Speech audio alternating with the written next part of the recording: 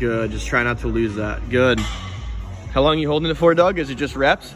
Just eight. eight. Awesome. So the goal with all of your exercises is going to be to curl your hips and then to make a big chest. Yes, good correction, Doug.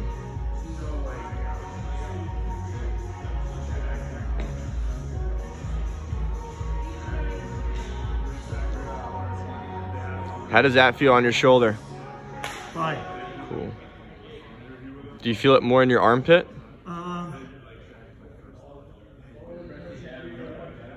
I guess.